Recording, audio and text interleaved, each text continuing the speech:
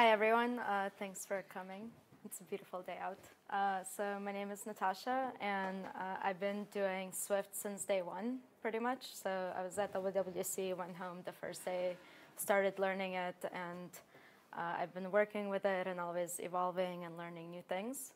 Uh, so uh, protocol-oriented programming. so I'm going to talk about that because that's kind of the heart of Swift. So at WWDC last year, uh, there was this protocol-oriented programming in Swift session, and hopefully you all watched it. If you watch one video from WWDC 2015, this is the video to watch. Um, and one big thing that happened also was that Swift got protocol extensions, um, and then since then there'll be other features. So uh, protocols are basically at the heart of Swift uh, Dave Abrahams, who gave the talk, is um, he called himself Professor Blowing Your Mind, which, you know, like if you're going to call yourself that, you better deliver. Um, and he did. Like, he actually blew everyone's mind. Um, and one of the things he said was that Swift is a protocol oriented language. And uh, you know he's not kidding. If you actually look in the Swift standard library, you will see like everything conforms to protocols over and over again, and um, so you should probably be using it. Uh, but one thing that happened was uh, in the talk, uh, he talked about drawables as an example. Um, and for me, that was hard to relate to. So I knew what he was saying was amazing. And I was like, this is blowing my mind because I don't understand most of this, but it's awesome. Uh, but um, it was really hard for me to understand. So when I got back to my job, um, you know, as programmers, we're using kind of the same patterns almost every day. We're used to kind of the same. When we have to add a feature, we already know in our head, oh, I've done this 100 times before. I'm just going to do it this way. In our case, if you're coming from Objective-C and iOS development, you probably have like object-oriented programming in mind. And protocols are a pretty new way to think about things. So for me, while I knew that you know, protocols were amazing, and this guy like blew my mind, and he said all these amazing things. Um, I didn't actually know like where do I start, how, how do I actually start using this in my code. Uh, so that was something that while like I knew I needed to use this, it took me a while to um, actually start using it. Uh, so today I'm going to talk about kind of use cases that I've used it for and I'm learning to use it for that are um, very practical, so it's not about drawables. Uh, if you do that, then you should watch the talk and it'll probably more, more relatable to you. Uh, but hopefully if you're like an everyday iOS developer, uh, my goal is to make this uh, some examples of where you can use protocols to improve your code in like very small but powerful ways. Uh, so hopefully uh, you've all dealt with this. So these are pretty common things if you're doing iOS stuff. Um, so today I'm going to talk about how you can improve your views, table view, view controllers, networking. Um, yeah, so we're going to get started. Uh, starting with views. Um, so let's say your product manager comes over and you know they say something simple like, "Hey, I want this view," and then when I click shake, it starts shaking because uh, it's a milkshake. Uh, so that's pretty simple uh, you know, just like an animation on a view. Um, so, you know, I do what I always do with animations. I go to Stack Overflow. uh, so if you Google, you know, like uh, shake animation, you're going to come up with someone already did this work for you, so you don't actually have to do it, which is really nice. Um, but you can still modify some, you know, how far it shakes and things like that. Um, but, you know, where they don't say where to put this, so I kind of understand the shake part. Uh, where do I put this in my architecture? So in my case, you know, I just had a view, and then I just wanted to shake. So I'm gonna subclass um, an image view, which was like an image in my in that example, and then I'm just gonna say, hey, this view is gonna shake. It's very simple. Um, now in my, you know, I connected in my storyboard, I add the image view. I can add more logic here to set the image. Um, but now I have the shake method. And now in my view controller, you know, I have, I connect my IB outlet or IB action for the shake button. and then I get my image and I just say shake. So, you know, pretty easy. We're happy with this. It works. Um, that's good. It works. Uh, so I think at that point that'd be done. Uh, but then the product manager, because we're never done, uh, the product manager is going to come back and they're going to say, well, you know, it doesn't look right when just the view shakes. I want the button to shake as well. So when you click, the button also shakes. Um, so, you know, I'd probably go ahead and do the same thing. Um, I subclass my shake, you know, button, create a shakeable button, add some shake uh, logic. Uh, now in my view controller, I now, when they click the shake button, I shake the view and the button. So, you know, uh, hopefully you're like, this is a warning sign, this is bad, because uh, I just repeated the same code in two places. So, you know, at least two views in my project have to have the shake animation, um, and you don't want to duplicate code because the product manager might come back tomorrow and say, hey, I want it to shake like more violently or, or just like do some other crazy things. so um, you, you want to isolate that code uh, to one place where you can go ahead and change it and it'll impact the views that need to shake. Um, so if you've done Objective-C, uh, one way you would do this is through categories. Um, so you would, and this is the same in Swift, uh, I can uh, extend UI view and I can add the, the same shake method in here. And now both my button and my image view have the shake method. Um, but the problem is, if you ever done it, um, it kind of becomes this monster because first you're going to put the shake that, you know, in the extension, and the next thing you're going to put some kind of fireworks animation, and then you're going to keep adding things to your UI view extension until you're, it's just like such a big mess, and you don't even know why things are there, and it becomes kind of unusable. Um, and then when you have a view, you have no idea that like Shake is available really. Like you, I've done this before where there was an extension for something, but then um, I didn't know, so I would just you know add my own Shake method because you have no idea. that it's there uh, because there's just so many things that it becomes this big Frankenstein monster. Uh, so how can we improve on this uh, with Swift? Uh, and one way is through protocols, of course, based on the talk topic. Uh, hopefully you guessed that. Um, so instead, we can create a shakeable uh, protocol. And the cool thing about protocol extensions is that we can actually constrain them. So now this uh, shake animation, uh, you know, it it's only works for UI views. If any other object implements shakeable, nothing is going to happen. So it's not, you know, dangerous or anything. Um, so this works only for UI views. Uh, so very simple. You just took out the library uh, or the code, and instead of putting it into a category, you just put it in a protocol. Okay, done. What does this buy you? Uh, well, now you have this, you just extend shakeable, and now this image view uh, has the shake, shake thing, uh, shake function, and so does the button. Uh, but the real thing is, when I look at this button and I look at this image, I immediately know that sh shaking is part of its functionality. Versus like if you had a big view, you might have shake, you might have all kinds of things, but by making it shakeable, I know that this is like a big functionality of this view and I should probably use it or that's like a big thing. So without looking at any code in this whole view, which obviously you will have a lot more in here, um, you can already tell what it's doing. And same thing for, let's say your product manager does come back and say, hey, when it shakes, I want it to also dim a little or become a different color. Well, you can also extend that in a protocol, and now you can say it's dimmable. So very quickly, just by glancing at the declaration, you can already tell a lot of the functionality that's in here.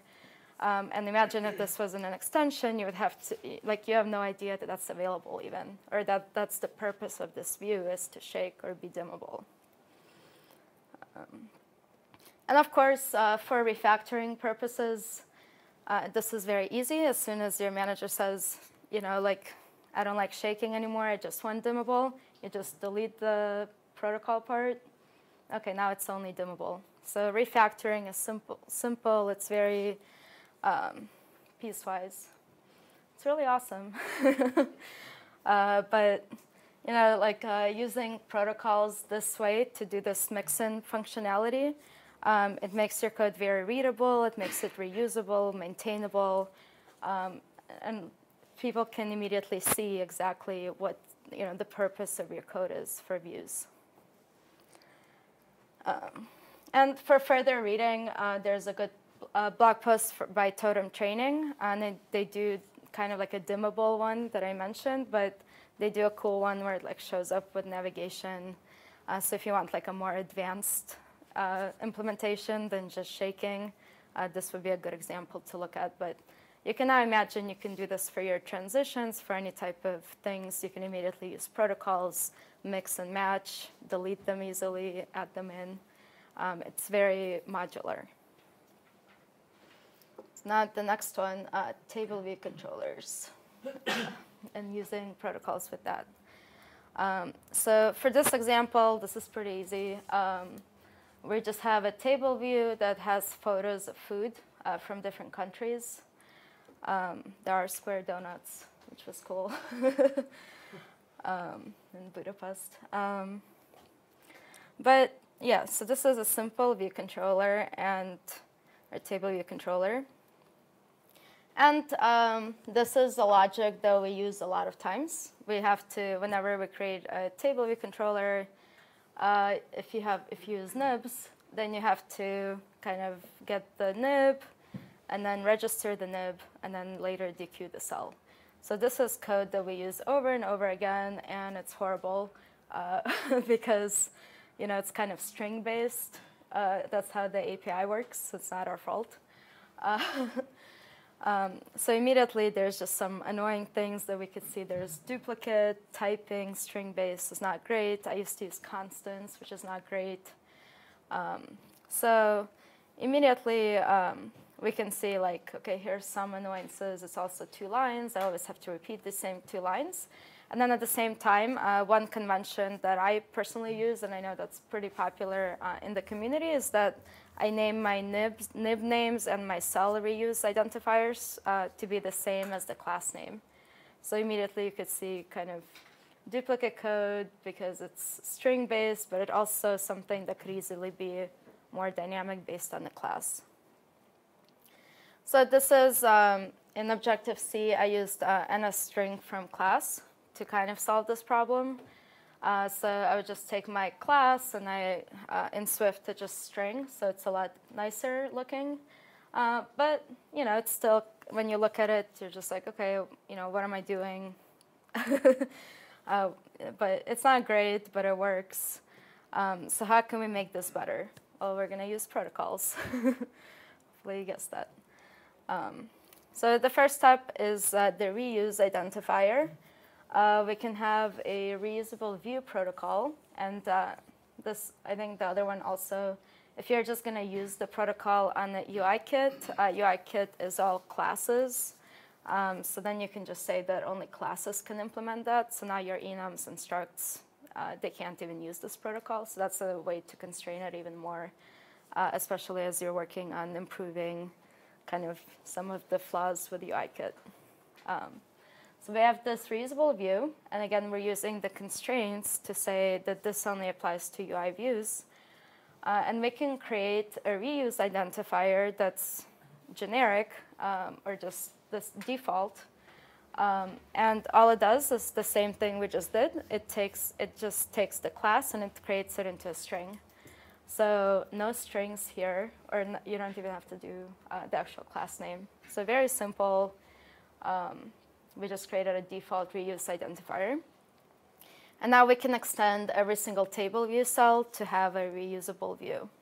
Uh, so now every single table view cell has a reuse identifier for free. We never have to worry about stringifying it, what's the class name, I don't remember, I have to look that up. It's kind of annoying. Uh, so this kind of solves uh, some of the issues. Um, and you can see it's already reusable because now when you, when you say for cell reuse identifier, you do table view cell reuse identifier. It's much more readable. You understand what you're using versus when you do that weird like string cell name. Um, it's less it's less clear what's happening, except like, you know, we all know what's happening because we've kind of used this pattern over and over again. But um, if you have an intern or someone from CS, they might just be like, sure, and they might not even know to go and like change the reuse identifier in the storyboard, uh, theoretically. Um, and now uh, we can do the exact same thing for nib names. Uh, again, like I named them after the class name. So we just have another protocol that's just for nibs, nib, nib loadable view. And it's going to have the same thing. It's just going to return a default nib name, which is just the class name as a string. So again, same thing, very simple. Uh, now we can extend any cell that does load from nib. Uh, you can just add that in, nib loadable view. And this is also, again, for readability really nicely, because when I look at the cell, I know immediately without having to look at it for a nib file, I immediately know that, hey, this cell is going to come from a nib. So it's already adding some value. Uh, but then, of course, we can take the cell, we get the nib name, and now we get the string version of our identifier. And then, you know, going back to the original, um, it's more readable because I can immediately know what's going on. This is the nib name. This is the reuse identifier. I don't have to worry about um, about it. You know, so it's already nicer, but it's not that great. Let's make it better. Um, and the magic comes again for taking those two lines of code of registering the nib, and we can now uh, extract it using generics uh, with Swift. And using generics, we can say that any type that uh, conforms to the reusable view uh, protocol and the nib, nib loadable view protocol, uh, we're going to take, create a nib from it, and using the nib name, which is the only method for the nib loadable view protocol. And then we're just going to register it.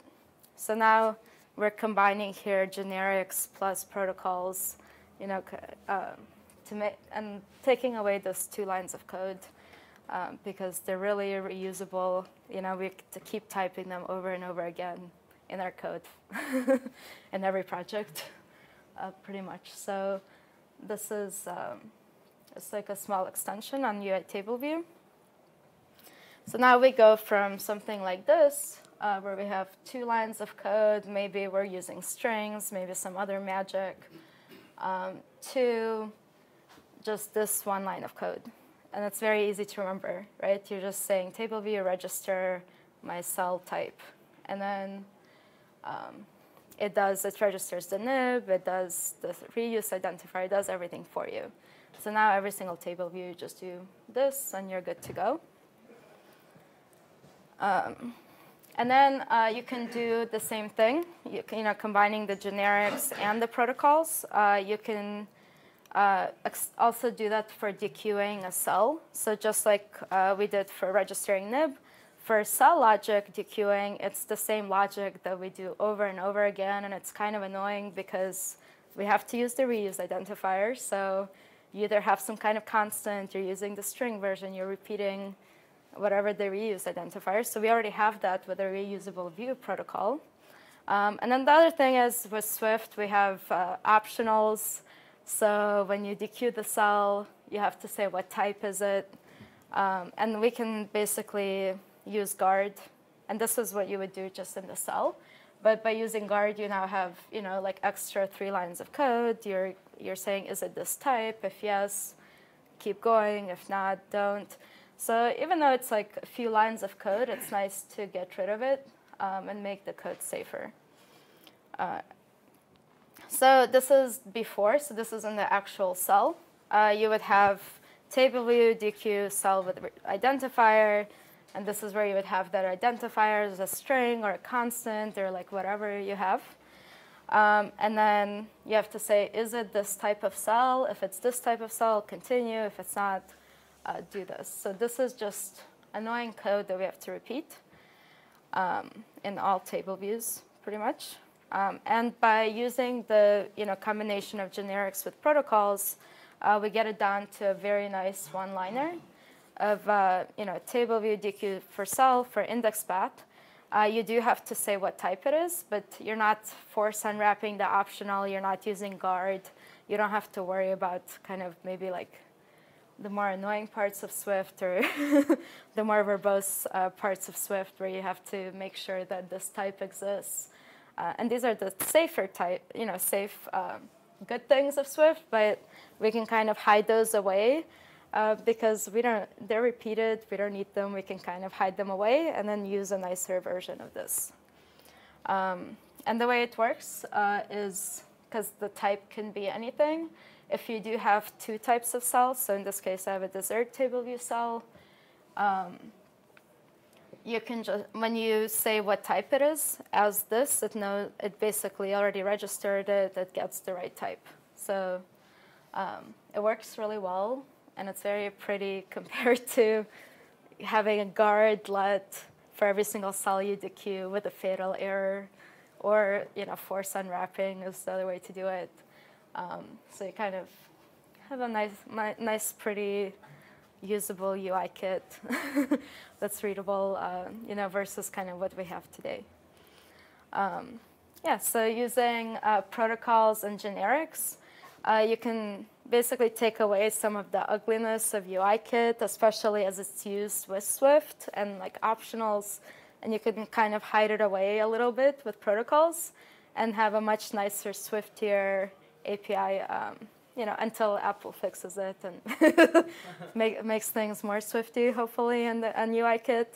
Um, but there's some other, you know, it, it's going to take a while probably. So until that, you can add a few small things with protocols to make it a lot nicer.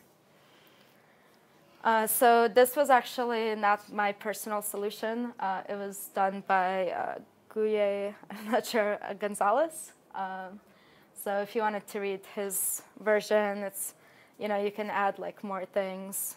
You can obviously do the same thing for collection view, you know, dequeue cell, register cell. Um, same thing applies here. Uh, and then uh, in Apple's uh, WWDC video on Swift architecture, they also discussed a really elegant solution for uh, a similar thing with segue identifiers. So uh, as you guys might know, with segue identifiers, again, you have to use some kind of string-based system. What is just like reuse identifier with table views. So with segues, you can do something similar where you can kind of take the string implementation, put it away kind of in a protocol, and have a much nicer use case for using segues um, that's a lot more Swiftier and has type safety and you know compiler warnings when things aren't matching up. Um, so the final layer is networking. Uh, so this is more kind of lower level.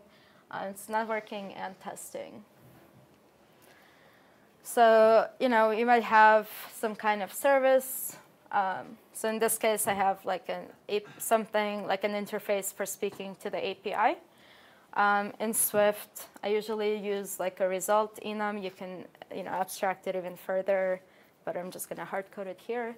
Um, so you know all this is doing is um, it has a method to get the food from the server.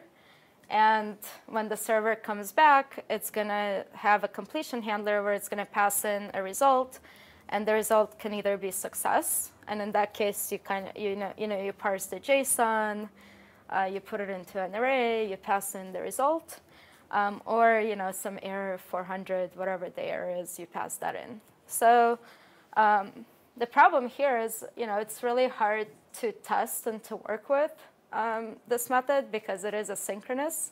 So you know, it's not like a clear, nice functional world where you have an input and output you have to wait, you have to do all the work, you don't know when it's coming back. So um, yeah, this is kind of a way to do it um, that I use, or I, you know, I, I try to use. And the way you do use it is that you know, you have a data source in your view controller. And again, this is very critical information because your you know, view controller populates from information from the server. Uh, so as your view controller loads, it has to make this API call immediately. And when the data comes back, you have to handle the result as you know, res resetting the data source uh, with an array of food items and now like reloading the table view or showing some kind of error to the user. Um, so this is pretty common Um, but the problem is, uh, this is pretty much like the most important thing in this view controller. It's a big dependency. It has to make this API call, and it has to populate the food. And you know, you, if it's such a big deal, then you should be able to test it. um, and view controller tests are hard uh, already, uh, just on their own. Uh, but you know, like um, this is really important. You don't want someone being like, "Why? What is this get food?" and create their own service or like whatever, or just reload the table view and do something else. So you do want to test this um, and make sure it's calling the right method, so in the future it is kind of you have some kind of certainty that this is working. Um, yeah. So what can we do? Um, so the first thing is uh, we want to extract, you know, what are the dependencies and how can we make this more modular? Um, so the big thing is, you know, we have this food service that's instantiated within the get food method, uh, but really we want to kind of have more control over it because in testing, um, I want to have more control of what happens in that get API call or, or get food from the API. Because again, this is an asynchronous method and it's not, we don't want to be test, we don't want to be making server calls for the test. We just want to know this works. Um, and when I give it this result, the view controller behaves accordingly. We don't care that the API works. That's like a whole other test. So um, this is the get food method. I just took out the result stuff. Um, so by, we make it a little bit more injectable. So first uh, I had it as private, but now I'm just going to make it internal so the test can access it and call it and test it. Um, and instead of instantiating the food service, I'm going to actually pass it in. Uh, you can even have like a default parameter here, but you know, you pass in the service, you get the food, you handle the result. So just by doing this small thing, um, I now have like a more injectable get food method than before that I can at least start moving towards testing. And you know, this is the start kind of.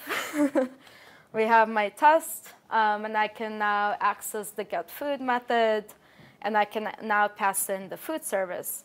Uh, but now I need to have more control over it. Um, and this is what it is. So, you know, I do not want to be touching the synchronous stuff. I don't really care about it. For the view controller, all I care is that behaves like I want it to behave based on the result that I receive. So I need some way to inject it with the result um, that I want uh, for testing purposes. Um, so this is what it looks like right now. Uh, but um, one thing to notice is this is a struct. And the way to do this in Objective-C would be to make it, it would be a class, and you can subclass and override the method. Um, that would be the Objective-C way, but we're not in Objective-C land. so we're moving to more Swifty way to do it, which is keeping it as a struct um, and adding a protocol. So the protocol um, would be gettable because we're doing a get request to the server. Um, and this will have uh, an associated type result. Um, and associated types with protocols are like a weird land on its own. Uh, but basically, this means that by making it like this, any it's not just the food service that's going to behave this way. I can now have a dessert service that will also conform to this gettable protocol. And you know, I'll have consistency over view controllers. I'll have consistency over all my services that when they do a GET request, they're going to conform to this protocol. And by having the result as an associated type, which is like a generic of protocols, um, I can, uh, you know, like any, uh, any service can implement their own result type. So that, that makes it like very uh, flexible to use across different networking stacks. So uh, how does this change food service? Not much. uh, the, you know, the result enum is still the same. That's the associated type. And now any other dessert service can also have a result where on success it uh, passes in an array of desserts. So this stays the same. Uh, the only thing is instead of get food, I call it get. Um, and again, I have the same completion handler that's going to be called. So by extracting this into a protocol, I basically did not, you know, I didn't really impact uh, the food service much. It stays as is but I already made my um, code a lot more reusable in the process, and I, I, can reuse this, you know, same pattern across and force that same pattern across different service layers. Um, so this is uh, where protocol uh, associated types are a little bit weird, but uh, I can refactor my view controller where uh, instead of taking in a food service, I'm taking in my you know, a gettable, so something that conforms to the gettable protocol. Um, and then the in this uh, view controller, I want to make sure that the result type, you know, because the result type is an associated type, so it doesn't have, it could be anything depending on which, uh, you know, which service it is. So I want to force this to be a food service result type, which makes sure to pass in an array of food. Um, so I have to use this little guard to make sure that the type is correct. Uh, and if it's not, then you know my view controller already will tell me, it will crash and say, hey, you're using the wrong service. Whatever result you're using is wrong. Um, but once I get past that, you know, I have basically the same code. If it's a success, I get an array of food. I'm going to re reset my data source. Um, and if it's an error, I'm going to show an error. So overall, uh, hopefully I think uh, the Swift team will make protocols with associated types a little bit easier to use. Because uh, the key here is you do have to use the little generic syntax. You can't just say pass in a gettable. Um, but you know, for, it's not a big deal. Uh, we did we had get food food service. Now we're just passing in a, a gettable, um, and then we have to check the type. And every single you know, view controller that's going to use a gettable service will kind of have a similar code structure. So now you kind of have consistency across um, how you work with your APIs. Um, and now in your tests, you know, this is where the magic happens. Um, I cannot subclass food service, but I can create my own food service that all I have to make sure is that it conforms to the gettable protocol to be passed in uh, and that um, it the you know the result type does have to be the same as the result type from the food service, which is the the part that's the same. Because uh, you know uh, in my view controller, when I pass an array of food, I want to make sure that it assigns an array of food to the data source. So those are the only two things. Uh, but other than that, I no longer have to deal with any any asynchronous stuff from the original. Um, all I care about in this fake food service is that my view controller is going to call it. it's going to call the get method from the gettable protocol. Um, and that when I pass in you know, a success result to the completion handler, it's going to assign it to the data source. Uh, this is just you know, a starting implementation, but I usually have some kind of var also that says you know, result is success or failure, or you pass in a result. And now you can test the failure. You know, what happens if the uh, result is failure? So again, you put pass, you have full control over what you're passing in as a result. There's no time waiting. There's no like fakes or like fake JSON you have to parse because that doesn't matter for the view controller. the view controller only cares. I get this result. What happens next? So um, yeah, so that's all you do. And now you can um, write your test. so instead of um, having the food service that you pass in in the view controller, you just create your own fake food service that we just created for the test purposes. Uh, and now when you call get food for the view controller, you pass in your fake service. Um, so now your tests are basically saying, for my fake food service, which conforms to the gettable protocol, was get actually called. Um, the, the view controller's data source, you know, you can change how much is the count. You can add, I didn't have the equatable um, protocol implemented on my food value object. Uh, but if you have equa equatable, you can say, are these two arrays equal? You know, when I passed in my result with a data source um, of, you know, food, food items, does it actually match? Was it assigned to the data source? So now you have a fully tested, you know, kind of like a safe, when an intern comes and accidentally puts desserts instead of food because they're confused, uh, this, this test is going to fail. Uh, and this is, again, the most important part of your view controller is to add, make sure the data source is correct. So it's very important to test. So yeah, so by using uh, protocol-oriented programming, uh, you make your you know, networking layer very uniform. So you can, again, imagine that for gettable, postable, delete, deletable. Um, you can have these protocols um, and make sure that your networking is consistent, it's uniform, it's injectable, it's testable. You have a framework that's very simple, you know, not a lot of code that goes into your view controllers where you can actually really easily test it. Um, so uh, I wrote a blog post uh, recently on kind of using protocols in a similar way to do like injection with storyboards. Um, you want to check it out. And then this is the most important video to watch. uh, I didn't cover, I didn't go into too much uh, on protocols with associated types, which we saw where result was kind of a generic thing. But there's a lot of gotchas, and if you actually start working with them, you might get very frustrated, like I did this morning. um, so when you get frustrated, uh, I recommend watching this talk. um, and Alexis, he goes through um, and explains like sometimes there is no workaround, unfortunately. they just don't work the way you want them to work yet. Um, but I think uh, he has a good point where if you understand why it works the way it is, maybe you feel better about it or you're more forgiving. Uh, so this is just like as you're starting, this could be coming up and pretty important. Um, yeah, so today I talked about how to use protocol-oriented uh, programming and like very simple use cases of every day that we use as uh, Swift developers or iOS developers.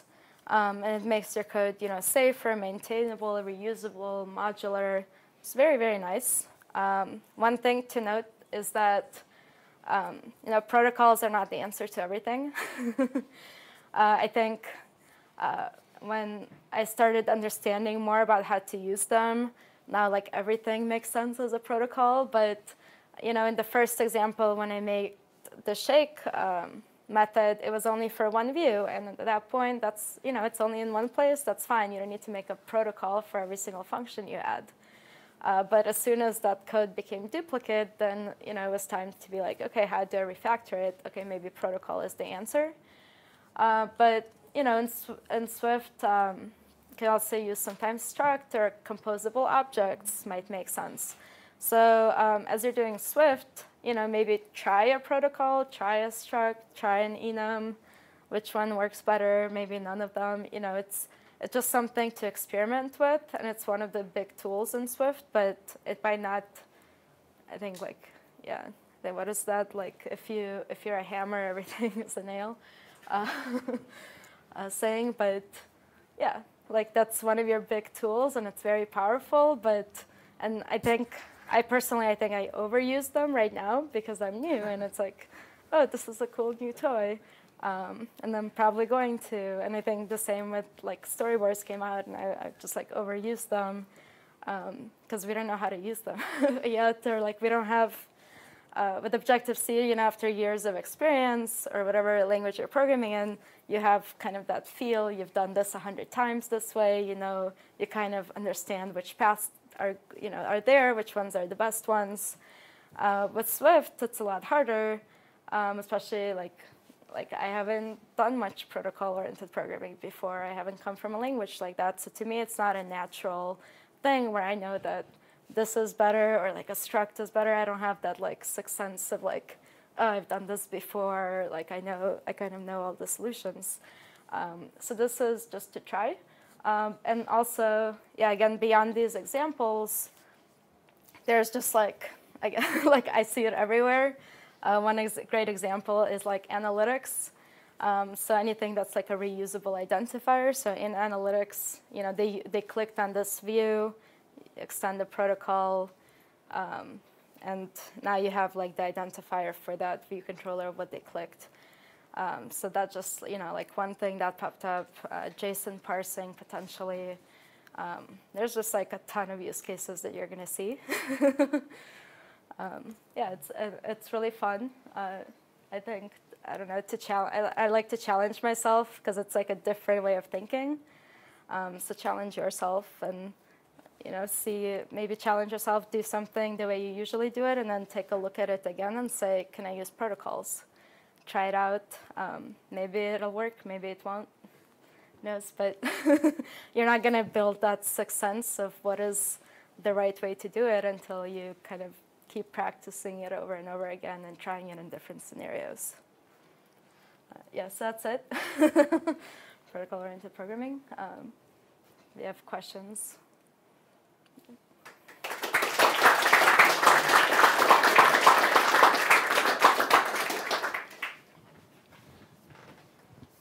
Really good talk. I'm gonna start uh, refactoring tomorrow with the.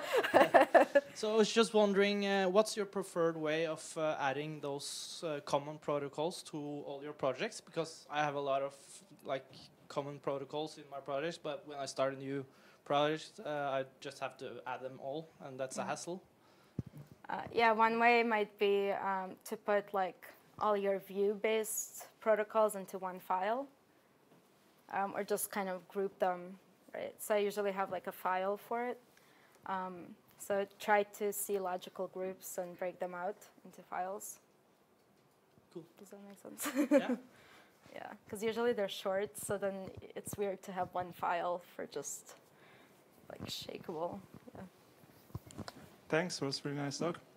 Uh, when you uh, declare class and uh, conform to a protocol, do you use the same place, or you would prefer to make an extension of the same class and conform to a protocol? So when, when you have a class and you have shakeable and something else. Mm -hmm. uh, yeah, uh, sorry. So like when you make, for example, a button and you can shake, it's a shakeable, dimmable, mm -hmm. and something else. So you have mm -hmm. in one line, or you can say extension button and then mm-hmm. shakeable and new extension button and it's dimmable.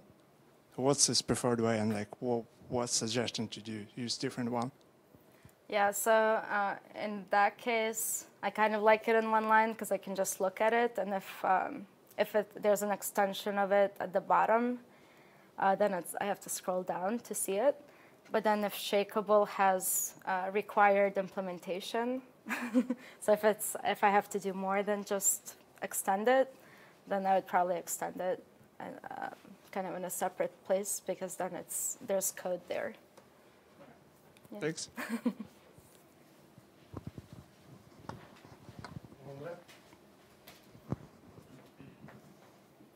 no, no more questions. Okay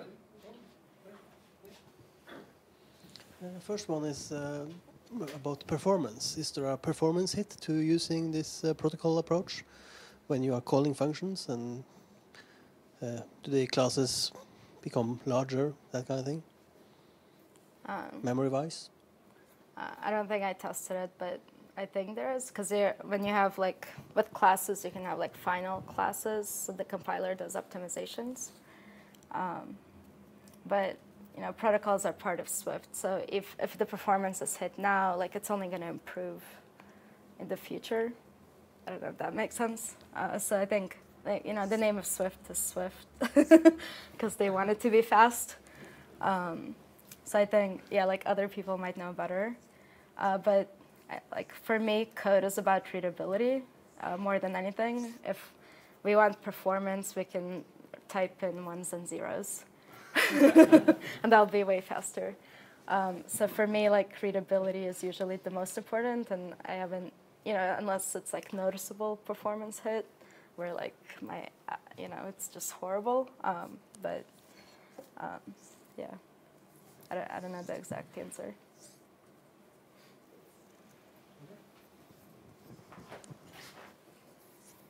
Could you tell us a bit more about yourself? What do you do for a daytime job? what do you like doing, making, Yeah. and maybe like a selfish question: Are you looking for a job? Uh, so I work for myself. Uh, I quit my job, like in, I was like a San Francisco person for five years. Uh, so lived in San Francisco, worked at a bank, uh, and then I ended up getting a new job, then quitting that job. uh, so now I just do. I'm a digital nomad, like travel and um, do random things. It's not like a clear thing, but uh, the last thing I did, I organized a Swift conference in Tokyo. Um, so that was really fun. Was in Japan, uh, and then uh, currently I'm like writing a book. I have a newsletter that I have sponsors for. Uh, I have a Swift job board, so you can post your job on there. if you go to natashatherobot.com, you'll see a link. Uh, so just random things. I don't know. Yeah.